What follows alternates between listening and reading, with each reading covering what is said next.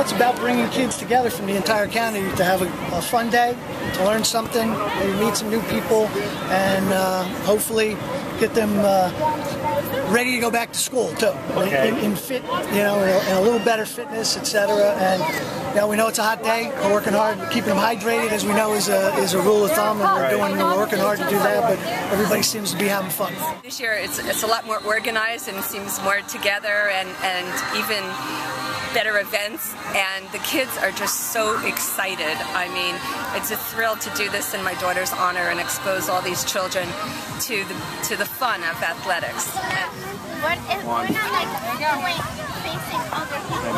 Oh, you're, you're not? You got a good helper here.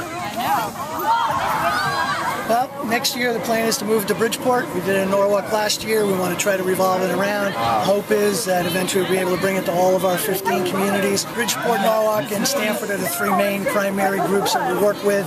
Three of our beneficiaries are here today, the Cardinal Shehan Center, the Carver Center, and uh, Stamford Youth. I, I think, you know, when you do something in someone's memory or in somebody's honor who really was an inspiration, um, it gives people something to aspire to, and to have it in Chelsea's honor just, I think, pulls people together and gives it a meaning and a purpose beyond just, you know, a random event.